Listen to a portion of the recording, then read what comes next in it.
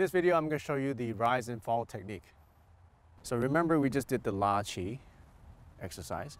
Now I want to use the same idea, but manipulate the Chi to go up and down like this. So as you're doing this, everything else has to work. All your Tai Chi, all your alignments, your breathing, your posture, your relaxation has to be there.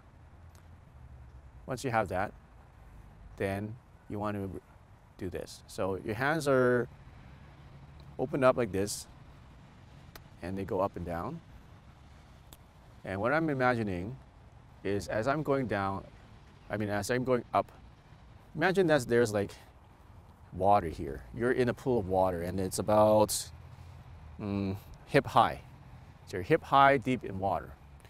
So you have your hands on the water. Your hands are just right on the surface of the water. And as it comes up, imagine that your hand has the ability to draw water up. So it's like sucking up the water. So while you're sucking up the water, you can feel that the water is heavy, pulling your hand up. Okay. As you're going down, feel that water still being sucked up by your hands, and now it's going back down to the water surface level. So as you're down the water surface level, kind of feel your hands touching the surface. So as your hand goes in, you can feel the water kind of pushing back. Imagine that you have um, something floating on the water and you're, you're pressing your hands on it. And as you press down on this object, or it could be a balloon or something, you can feel the balloon pushing back up because it wants to float. It doesn't want to go in the water. Okay? So as you go up again, imagine that you have this water that you're drawing up. You, are kind of like lifting this water. This water is hanging like getting sucked up by your hands from the water that you're waist deep in. Could be hip deep because your hands down here, right? So your hands are on the water, your hands are sucking up the water, and it's heavy. You can feel the weight of the water. Relax your hands. As you, as you come down, don't just drop the water, don't just drop it. As you come down, imagine you're slowly, your hands are still sucking up the water but then you're just moving your hands back down. And as you come back down to the water surface level, when it goes down, you can feel the water pushing back up on your hand because it, it wants to float. Your hands wants to float. Like imagine your hands are like um, flotation devices. It doesn't want to go in, and when it goes in, it wants to go back up. You kind of feel that, feel that buoyancy of your hands on the water. So keep doing that. Okay. So notice that my body naturally kind of goes and drops a bit. My knees drop about an inch and my knees raise about an inch when I go up and they drop about an inch when I go down.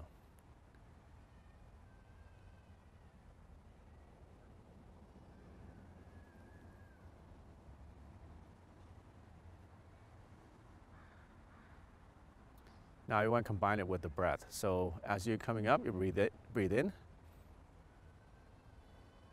And so when you come down, you breathe out.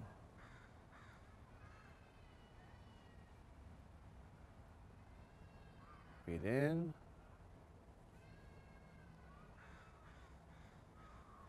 Feel the heaviness of the water that you're sucking into your hands. As you go down, still feel the heaviness. And then relax.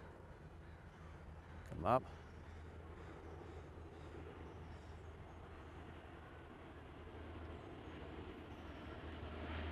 Go down. So hand position is very important as well. What I like to do is as I'm coming up, my hands kind of relax as they come up. They're relaxed. And then as I come down, they open a little bit. As they come up, they relax, they, they close a little bit.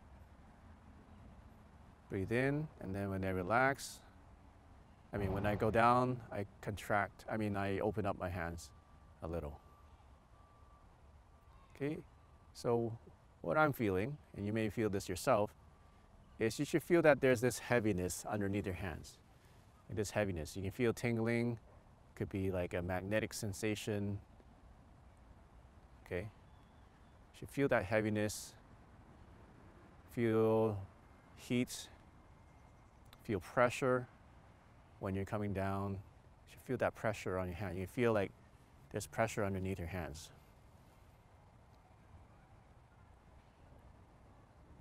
Okay, so that's the rise and fall. So from the side, I'll show you how to do this again. So once again, everything's suspended like a string from the top of your head, suspended with the neck brace. Everything else is loose. Your spine is straight as you come up. Come up to about chest level. And then when you come down, go down to about hip level and up.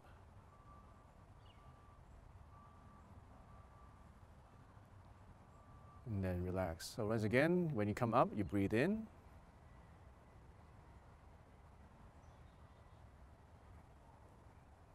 And then you breathe out.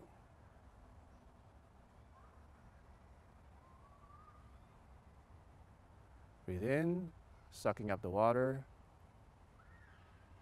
Feel the weight of that water on your hand. Breathe out.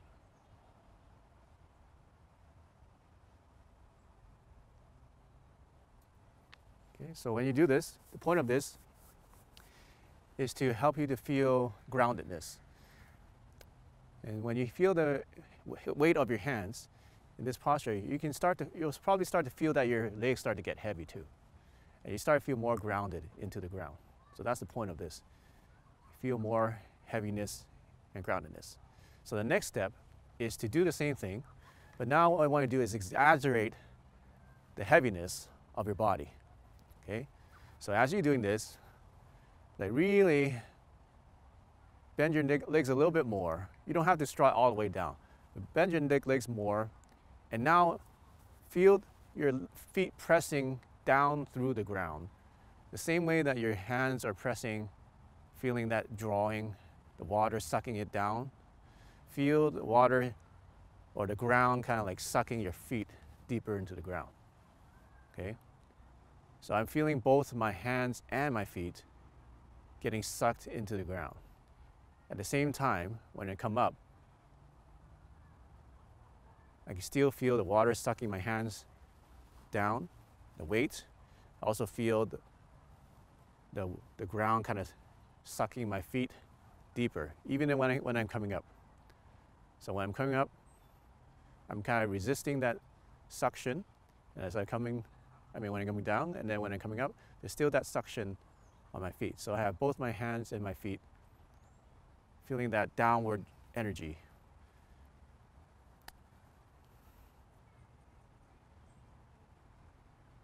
Okay, so see I'm squatting a little when I come up. And when I come down and I come up, I extend and expand. When I come down, I breathe out, relax everything, Feel it go all the way down. The more relaxed you are, then the deeper and the more grounded you can get.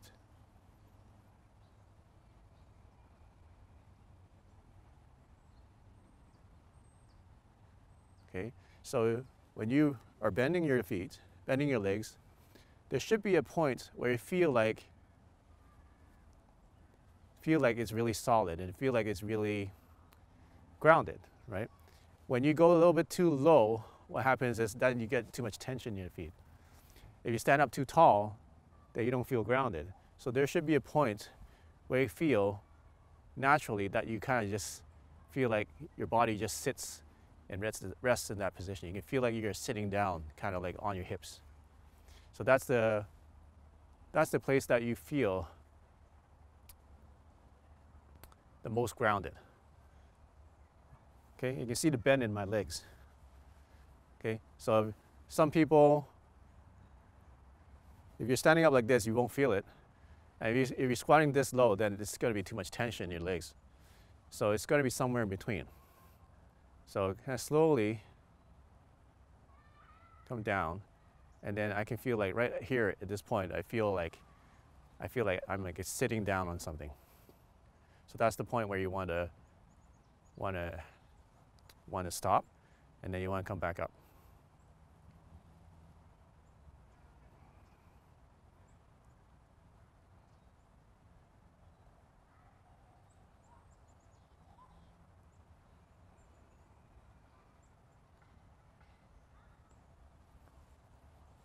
All right, so that's the rise and fall. And practice that first just with the hands. You can do this sitting too. Um, you can't do this lying down because it's up and down movement. But you can do this sitting. Ideally, you do the standing in this posture because then you can use your whole body. You can feel your whole body sinking down.